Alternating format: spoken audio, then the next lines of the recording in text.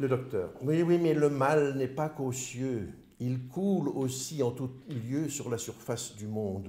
À Heidelberg, une fille déguisée en garçon a, par un funeste stratagème, abusé de deux femmes, l'une après l'autre. Ça a été une telle abomination, un tel maléfice à vous glacer le sang, une si grande abjection satanique, que cette créature a été sitôt mise au bûcher. Martin. Quelle horreur A-t-on au moins brûlé les deux autres malheureuses? Le docteur. Je ne sais.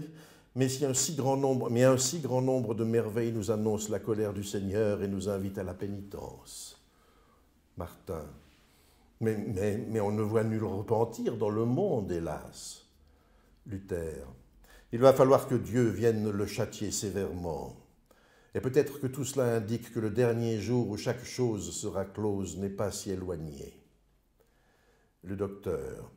En vérité, en vérité, je vous le dis, quand, dans un torrent de soufre et de feu, Sodome et Gomorre furent engloutis en un clin d'œil, tous les habitants, hommes, femmes et enfants, tombèrent morts et roulèrent dans les abysses infernaux. Alors on n'eut pas le temps de compter son argent, ni d'aller courir la prétentaine avec les garces, mais en un instant, tout ce qui vivait mourut. Ce furent les cymbales, les timbales et les trompettes du bon Dieu. C'est ainsi qu'il fit son pomme les pompes, pomme les pompes, please, please, schmir, schnur. Ce fut le coup de cymbale de Dieu, notre Seigneur, ou, comme le dit Saint Paul, la voix de l'archange et la trompette de Dieu. Car lorsque Dieu tonne, cela fait presque comme un coup de timbale. Pum, pum. Ce sera le cri de guerre et le ta du bon Dieu.